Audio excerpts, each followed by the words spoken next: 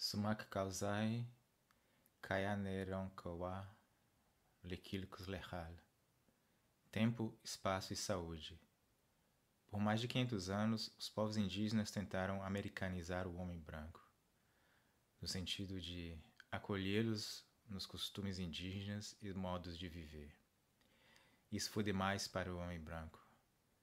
Para entendermos como se deu essa recusa, devemos repensar o contato, repensar o encontro genocídio, e esse estudo nos levará a perceber que somente o contato com uma população acolhedora daria aos europeus a possibilidade de prosperar em um continente desconhecido. A presença dos povos indígenas no hemisfério ocidental, ou no que chamamos hoje de mundo ocidental, é espiritual, material e cultural. Quantos conceitos, artefatos, ferramentas e invenções intervenções indígenas afetaram culturalmente a nova jornada daqueles que chegaram às costas das Américas e persistem em nós até hoje. O que perdemos com nossa ignorância ativa que rejeita a presença dos povos indígenas? O quanto dessa ignorância afeta nossa capacidade de desenvolver soluções para nossos paradigmas e crises atuais. No leste da América do Norte, perto dos Grandes Lagos, chamado pelo colonizador território iroquês, por volta do final do século XII, Hiawatha, um líder indígena americano pré-colonial, perambulava muito triste, pois tinha perdido suas filhas, mortas pelo feiticeiro Tadodarro, o senhor da guerra do povo Onondaga. Um dia, Hayata, caminhando ao lado de um lago, perdido em sua tristeza, recebeu uma mensagem do Criador que o ajudou não apenas a atravessar um lago cheio de patos, mas também a usar as conchas remanescentes reveladas no fundo do lago quando o bando de patos voou. Hayata usou as conchas para limpar os olhos, abrir os ouvidos e limpar a garganta encontrando em seu coração um estado de espírito em paz. Encontramos conchas de Quahog, ameijoa, no fundo de lagos e rios, puras em seus tons de púrpura e do branco mais branco. As conchas presentearam Hayata com um wampum, um dispositivo mnemônico usado para contar histórias, um objeto sagrado em sua substância e que possui uma presença curativa. Ele é usado pelos Rodinochones, povo da Casa Longa, em suas cerimônias de condolências. Ateronyatacon, membro do Snipe Clan Mohawk, disse sobre o uso do wampum pelos Rodinochones. No leito restante do lago havia cordas de wampum. Hayota disse: se algum dia eu encontro um homem que sinta a mesma dor, que sinta a mesma perda que eu estou sentindo, eis o que eu expressarei em condolências. Hayawata o diria que a vida precisava continuar, embora reconheçamos uma grande perda em nossa vida. Temos que olhar para o ciclo da vida que continuará. O sol brilhará amanhã, assim como brilhou hoje. A lua continuará sua direção a Mãe Terra continuará seus ciclos. E foi assim que ele encontrou as palavras que ainda hoje são usadas nas mensagens de condolências quando os nossos líderes, homens e mulheres, falecem. Hayawata, um grande estadista, em sua dor encontrou em seu coração o que diria a seus semelhantes que estivessem na mesma situação que ele. O Wampo é a prova da sinceridade das condolências.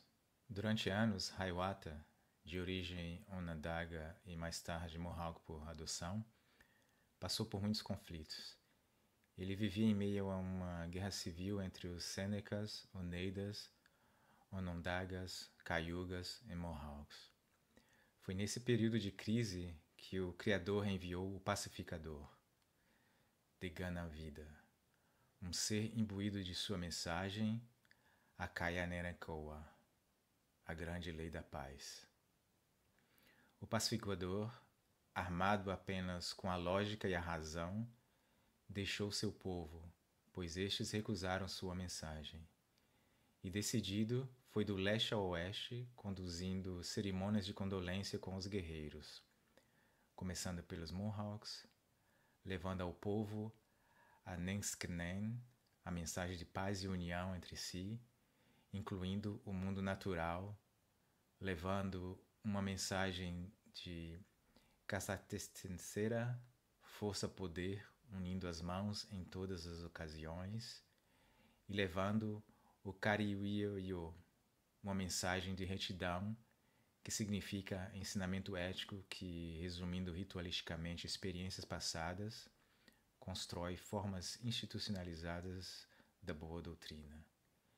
Em sua jornada pelos Mohawks, o pacificador passou de indivíduo para indivíduo, visando alcançar a mente de cada um dos líderes, revelando a humanidade em cada um deles.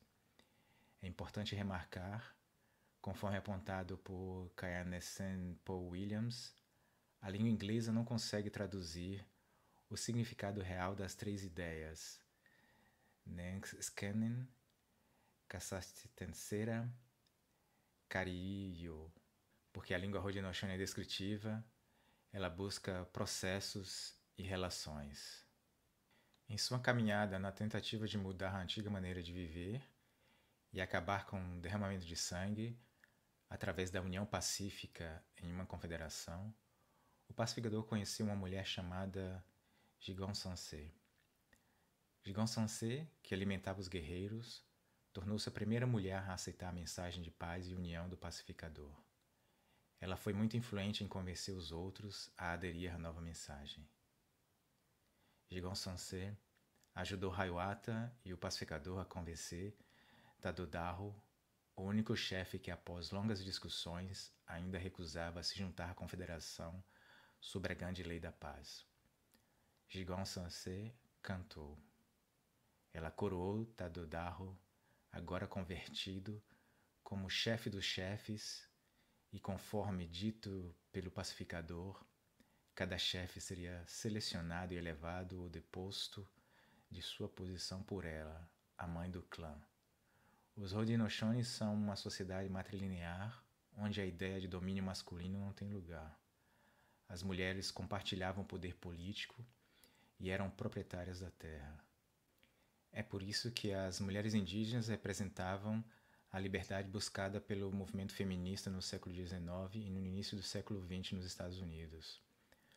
Podemos ver nesse desenho impresso no dia 16 de maio de 1914 um grupo de mulheres indígenas observando reformistas sociais e ativistas dos direitos das mulheres, como Susan Anthony, Anne Howard Shaw e Elizabeth Cady Stanton, liderando um desfile de mulheres. Nos versos sobre a gravura se lê: Da selvageria à civilização. Nós, as mulheres dos iroqueses, possuímos a terra, a moradia e as crianças. Nosso é o direito à adoção, vida ou morte. Nosso é o direito de elevar e depor chefes. Nosso é o direito de representação em todos os conselhos. Nosso é o direito de fazer e revogar tratados. Nossa é a supervisão das políticas internas e externas. Nossa é a administração da propriedade tribal. Nossas vidas são, como já dito, tão valorizadas quanto as dos homens. Os Haudenosaunee construíram uma sociedade igualitária com uma distribuição de poder equilibrada entre homens e mulheres. Eles também educam as crianças a pensar por si mesmas, mas a agir pelos outros, ou seja, não respeitar o caráter autoritário e a recusar a acumulação de bens em vez da partilha. Ao estabelecer a confederação, o pacificador foi responsável pela criação de uma democracia participativa, baseada no consensus, na expressão da opinião pública e do debate, uma nova forma de governo e sistema legal, onde o Conselho das Mulheres podia nomear ou impedir chefes que violassem a grande lei da paz. Além do poder de veto quanto à questão da guerra. A Confederação das Cinco Nações, que se formou, 50 chefes e mães do clã, se organizou no sistema de poder tripartido, executivo, legislativo e jurídico. Foi a Grande Lei da Paz que moldou um sistema legal e governamental que enfatiza as relações de longo prazo, a construção do consenso e a busca constante pela paz, que, em seus termos, também significa boa saúde, estendida sem fronteiras entre os seres humanos, a sociedade e o meio ambiente. Um aspecto essencial da Grande Lei da Paz é entender que, como disse Kaya C. Paul Williams, o mandato ou a responsabilidade das pessoas no mundo pode ser visto através das lentes da saúde, em que, primeiro, não faça o mal é o padrão mínimo e a restauração e a manutenção de um ambiente saudável é uma tarefa contínua. Viva há centenas de anos, essa história vive hoje, como disse a Teranyatkom. Às vezes acho que os historiadores, mesmo que não, Talvez queiram nos colocar em um tempo histórico e não nos permitem dizer, mas está vivo hoje. Esse discurso está aqui hoje e ainda podemos ouvi-lo. Conhecemos essas palavras hoje. Os historiadores talvez queiram que digamos, bem, costumava ser assim. Sim, costumava ser assim, mas ainda é e será no futuro. Eu acredito nisso. A história da aceitação da Grande Lei da Paz é o documento fundamental da Confederação Haudenosaunee. Ela mudou a democracia representativa baseada na Grande Lei da Paz como uma forma operante de confederação baseada no consenso. Ela também iniciou o que pode ser considerada como uma das democracias contínuas mais antigas do mundo e que ajudou na realização do documento vital resultante da Revolução dos Estados Unidos, a Constituição de 1787. Entretanto, somente 200 anos depois, o Senado dos Estados Unidos reconheceu a contribuição dos povos indígenas. A Confederação Haudenosaunee, que incluía os Mohawks, povo da pedra, os Oneidas, povo da pedra erguida, os Onondagas, povo da montanha, os Cayugas, povo do grande pântano, e os Senecas, povo da colina. Os Tascoras, juntaram-se à Confederação por volta de 1722. Hoje, a Força Tarefa Ambiental Haudenosaunee desenvolve programas ambientais com base cultural por meio de suas formas de pensar e continua a nutrir instituições e indivíduos que buscam formas alternativas de abordar os problemas ambientais. O modelo de saúde ambiental Haudenosaunee é uma manifestação moderna das três grandes questões da lei – Kariyo ne eskenen katsastensera. Kanikariyo é medido através da avaliação de vários domínios. Yakariyo enton, empenho, Kariwaken estensera, respeito, Kayatake estensera, responsabilidade. Skenenkova é medida através da avaliação de vários domínios.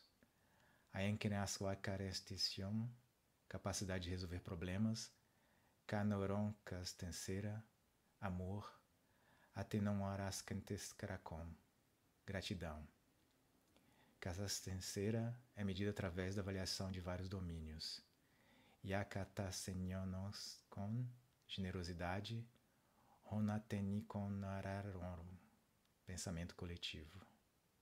O que pensamos, como pensamos, se transforma em política pública.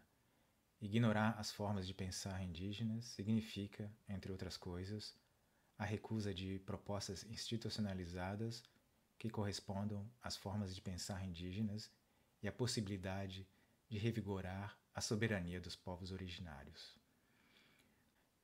Quando os debates constitucionais mexicanos de 1991 afirmaram os direitos culturais indígenas, à margem do poder institucional, assistimos ao surgimento e desenvolvimento de um movimento crítico nas terras altas do sudeste do México, em Chiapas. Um movimento reafirmando a ligação entre direitos culturais e autonomia territorial.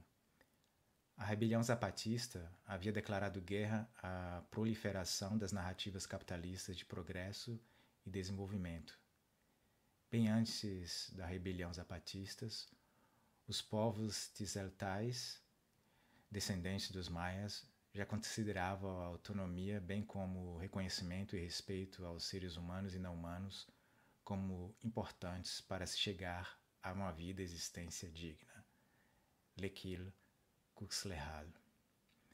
A relação adequada para esses descendentes dos maias, aquela que conduz a vida e existência digna entre os humanos e não humanos, implica. Humkotantik, estar em um só coração, Isnael Yayelaye, saber escutar, Komon un tik, bem comum, Koltomba, ajuda mútua, Humnel Maltal, obedecer a um mandato, em outras palavras, é o mandato do povo. Aquele que manda, manda obedecendo. Liquil Kulehal é o sentir pensar e coraçonar como forma política, ou seja, é mais do que uma insurgência simbólica, pois é o princípio operador da política indígena que se desdobra no governar aprendendo a governar, dos zapatistas, por exemplo. Lá, toda a comunidade em algum momento assume posições de comando e obediência, subvertendo a ideia de Estado ao mesmo tempo que amplia a autonomia individual e coletiva, em constante aprender e operar intergeracional e autocrítico. Nas palavras do subcomandante zapatista Galeano, este processo representa outra temporalidade, outro ritmo, outra história. Galeano disse: O sistema não tem medo de explosões, por mais intensas e luminosas que sejam. Se um governo cai, há outros em seu gabinete para substituir e impor. O que o aterroriza é a perseverança da rebelião e da resistência vindas de baixo. Como um calendário de baixo é diferente, o ritmo é diferente. É outra história, é outra dor e raiva. Os maias distritais, refletindo a partir da sua cosmologia, revelam suas aspirações a um modo de ser, estar, atuar e sentir, partindo do coração, centro e matriz do pensamento maia. Liquil Kulehal se experimenta, por exemplo, ao se encontrar a harmonia e felicidade no coração na realização de um trabalho alcançado, o bem comum da comunidade, ou dividindo a alegria de sua realização com o próximo. Kulehal é a bondade em abundância que se realiza no cotidiano. Dinâmico e vivo é um conjunto de práticas culturais, uma forma de ver e entender. Como um novo horizonte, ele constrói um sentido comunitário envolvendo laços afetivos, antípodas da linearidade desenvolvimentista e consumerista. A solidariedade requer que todos os seres se encontrem bem. Nas palavras do subcomandante zapatista Galeano, se manifesta esse desafio, que é teórico e prático. Dizemos que não estamos nos manifestando para desafiar o tirano, mas para saudar aqueles que, em outras geografias e calendários, o enfrentam. Para desafiá-lo, nós construímos, para desafiá-lo, criamos, para desafiá-lo, nós imaginamos. Para desafiá-lo, nós crescemos e nos multiplicamos, para desafiá-lo, nós vivemos, para desafiá-lo, morremos. Em vez de tweets, criamos escolas e clínicas, em vez de trending topics, festas para celebrar a vida derrotando a morte. Para mim, sumak kausai é comer, beber e fazer amor. Homem Sarayaku, 55 anos. Sumak kausai, viver em plenitude. Sumak kausai em Aymara é suma com a manha. Como demonstrado por Antônio Luiz Hidalgo, capitão e Alexander Arias e Javier Ávila em El Pensamento Indigenista Equatoriano sobre El Sumac Causai. Sumac Causai é fruto de uma inatuação e construção por intelectuais e ativistas indígenas e não indígenas, tomando a perspectiva dos povos originários de pensar e agir em harmonia com os seres humanos e não humanos, incluindo assim toda a comunidade, fazendo desse modo de ser e pensar uma alternativa para o desenvolvimento. A emergência do Sumac Causai se dá a partir do Plan Amassanga de 1992, proposto pela Organização de Pueblos Indígenas de Espastança, OPIP, e que tinha como objetivo gestão do território apoiando-se no conhecimento tradicional indígena. Desde aí, o Sumac se difunde e se desenvolve a partir dos trabalhos do pensador indígena Carlos Viteri nos anos 2000. Intelectuais indígenas quixawas equatorianos, aimaras bolivianas e quechuas peruanos foram os primeiros a expor o conceito de sumac causai. E foram seguidos mais tarde por uma comunidade de pensadores não indígenas e mestiços, não só da América Latina, ampliando a proposta como uma ideologia de defesa das reivindicações dos povos originários. Podemos dizer que esta forma de pensar agir é fruto de uma comunidade epistemológica híbrida, um encontro do ativismo com a ciência, com a academia. É a partir desse contexto que esse conceito vivido por indígenas chega até instituições não indígenas, impactando e transformando as constituições do Equador e da Bolívia em 2008. Podemos sublinhar pelo menos três pontos a fim de compreender essa filosofia de vida indígena, Sumac Causai. A. Sumac Causai, ser e estar na plenitude, se opõe a Laki Causai, mal viver. B. Reindigenização e reconhecimento da diversidade e pluralidade para alcançar e manter o Sumac Causai. C. Sinergia promotora de relações de solidariedade generosidade e reciprocidade com o mundo humano em suas mais distintas variáveis, sociais, antropológicas, ecológicas, espirituais e não humano. A vida em plenitude se realiza na comunidade e em contato com a natureza. Os princípios que garantem o alcance e manutenção da plenitude no sistema comunitário são de relação, de correspondência, de complementaridade e de reciprocidade, Handi Handi, coletivismo, a propriedade comunitária, concepção da vida como reciprocidade, redistribuição. Hurai Maki Maki, trabalho comunitário. Ushai, organização social e política. Yashai, o saber é coletivo. Esta racionalidade relacional expressa a dinâmica da vida onde o comunitário é visto como totalidade pluralidade, buscando uma interrelação fundada na harmonia. Uma das dificuldades para a aceitação desse modo de pensar multidimensional vem da não aceitação da oralidade como documento, protocolo ou lei, opondo assim epistemologias ocidentais e ancestrais, como deixou bem claro Dylan Robson no seu livro Hungry Listening, Ontologicamente, muitas das nossas músicas têm seu significado principal como lei, história, ensinamento ou funcionam como formas de fazer. Isso quer dizer que elas são história, ensinamento, lei que assume a forma de canção, assim como as formas ocidentais de lei e história assumem a forma de escrita. No entanto, elas também não podem ser reduzidas a uma mera forma alternativa de documentação ocidental, o equivalente exato a um livro ou a um título de terra escrito. Já me pediram várias vezes para explicar as maneiras pelas quais nossas canções servem como lei ou como as canções têm vida. No centro dessas perguntas está a exigência de explicar como as nossas canções preenchem os critérios ocidentais necessários e suficientes que constituem uma coisa. Medir a adequação dos processos indígenas de acordo com padrões ocidentais, os submetendo, e a pessoa indígena que os explica, a violência epistêmica e restabelecendo os princípios e valores coloniais. Outra dificuldade é pensar a unidade conceitual como única forma de constituição do saber, o pensamento indígena se desdobra em muitas línguas, de forma oral, dentro de comunidades. Desta forma, a identificação comum se apresenta mais nos princípios do que nos detalhes.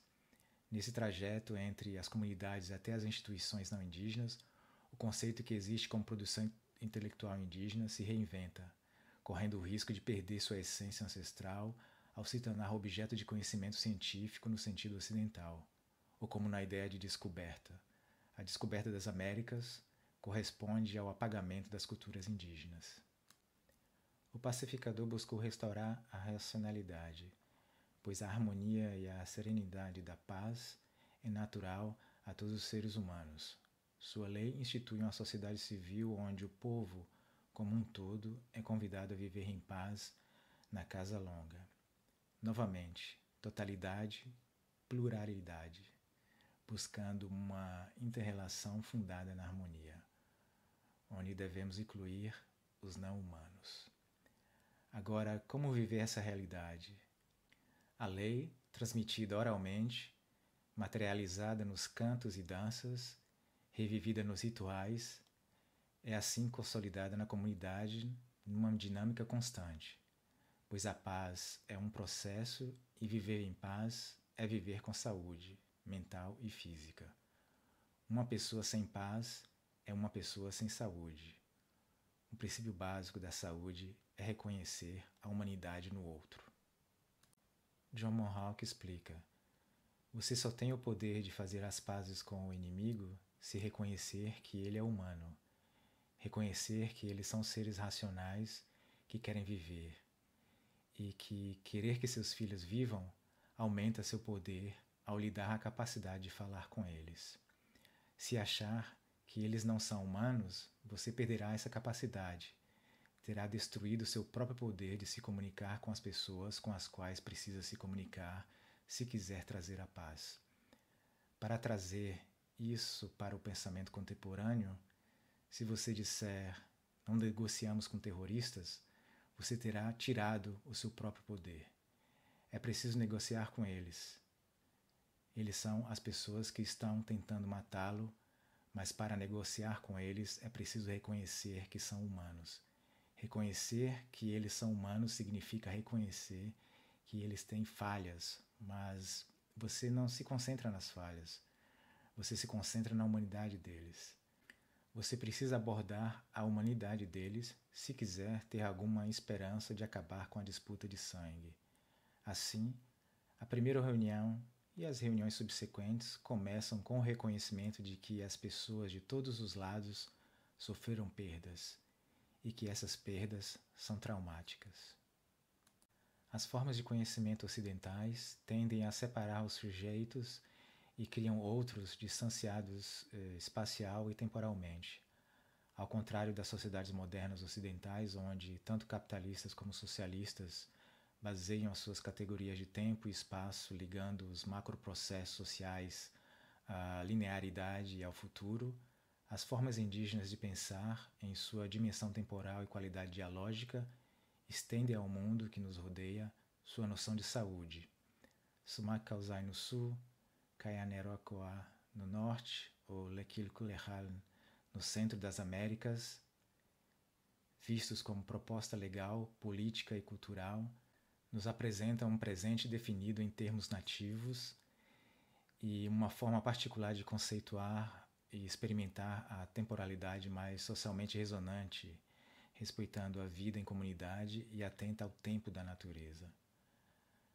A ideia absolutista de tempo ocidental condena os indígenas como figuras de um passado, diminuindo sua importância conceitual e experiencial na nossa cultura. As epistemologias indígenas têm uma orientação espacial. Os rios, por exemplo, são metáforas da vida. A floresta nos ensina. A vida humana, assim como o meio ambiente, passa por períodos de incêndios, inundações e períodos de congelamento o modo ancestral de ser e pensar se choca com as orientações ocidentais do tempo histórico, linear e teleológico escatológico, com seus marcos fixos. Como disse Yolanda Parra sobre os postulados indígenas, esses postulados são erigidos em práticas pedagógicas cotidianas que fazem de cada momento da vida pública e privada um espaço onde se ensina e se aprende a ritualidade da palavra, da comida, da música, da semeadura, da colheita do serviço, do diálogo, do respeito por todas as formas de vida que habitam um território onde a vida comunitária acontece como expressão da verdadeira riqueza de um povo. Em outras palavras, os fundamentos do bem viver contêm confortavelmente os requisitos que a sociedade ocidental contemporânea tem se esforçado tanto para construir, como o tão promovido desenvolvimento sustentável, a tão patrocinada educação intercultural. Para reverter o epistemicídio, é necessário ressaltar que para os povos indígenas a lei está no canto e que a lei é saúde.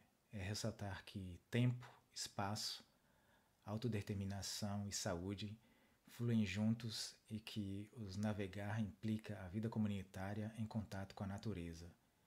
Daí se presume o land back, a demarcação das terras.